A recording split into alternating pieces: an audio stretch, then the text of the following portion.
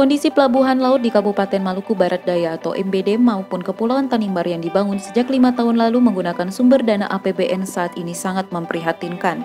Saat diwawancarai, Anos Yeremias Esos selaku anggota Komisi 3 DPRD Provinsi Maluku menyampaikan dari peninjauan lapangan yang dilakukan DPRD, hampir seluruh fasilitas pendukung pelabuhan sangat minim, kecuali di Pelabuhan Kisar karena unit penyelenggara pelabuhan atau UPP ada di sana.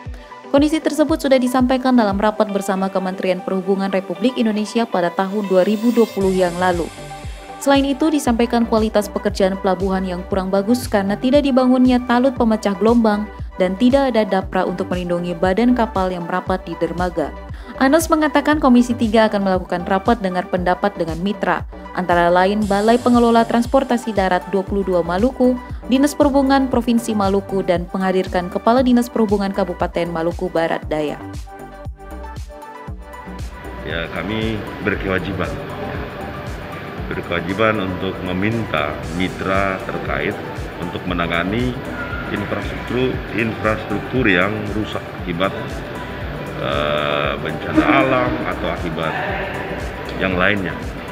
Ya, itulah sebabnya kemarin kami koordinasi dengan uh, pihak BPK dan juga dengan kepala unit pengelola uh, unit pelaksana pelabuhan kepala unit pelaksana pelabuhan Wondeli yang membawahi sejumlah pelabuhan di Kabupaten Maluku Barat Daya untuk secepatnya ya, dan dalam pertemuan kami minta secepatnya dilakukan perbaikan ya terhadap uh, dermaga yang rusak Nah, karena itu dalam waktu dekat ini mungkin minggu depan ya.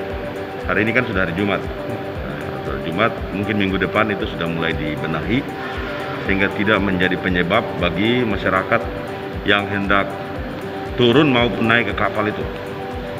Nah, sementara itu tahun depan tahun 2022 akan dibangun kubus.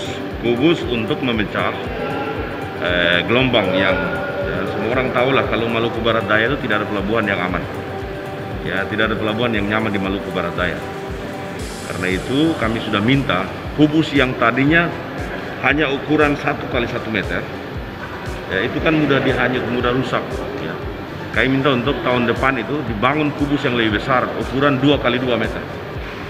Ya, sehingga dia bisa memecah ombak manakala datang musim yang ekstrim seperti musim barat. Demikian.